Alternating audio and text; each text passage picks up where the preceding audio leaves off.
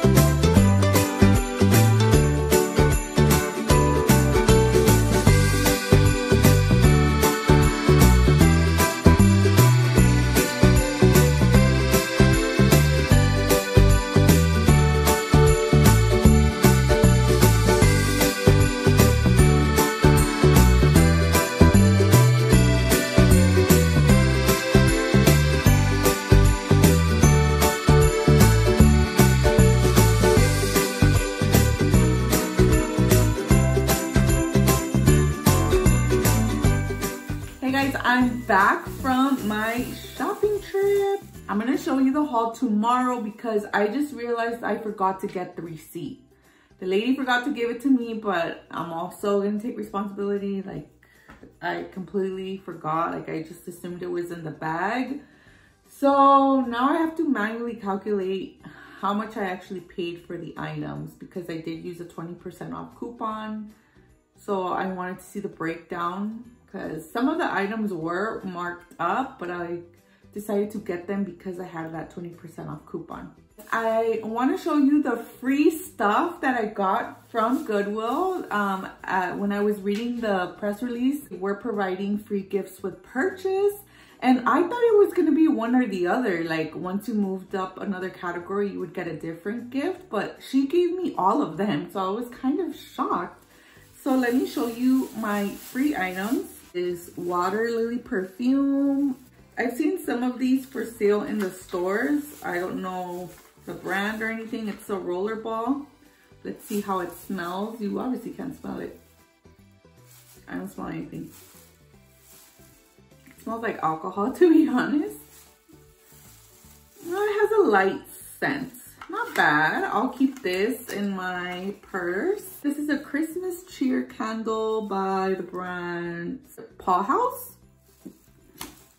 I love candles. I'm happy to accept this. This, again, I'm keeping this for me. Third item they gave me was a $5 voucher. So I guess you just fill this out and then you get a free $5 off of your next purchase. And then the last item that I got was the 18 piece bathroom set, which this is what it looks like.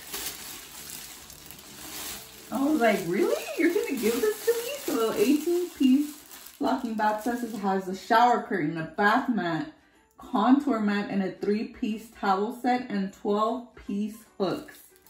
So like a complete bathroom makeover. They, you could either pick the maroon color or a brown color.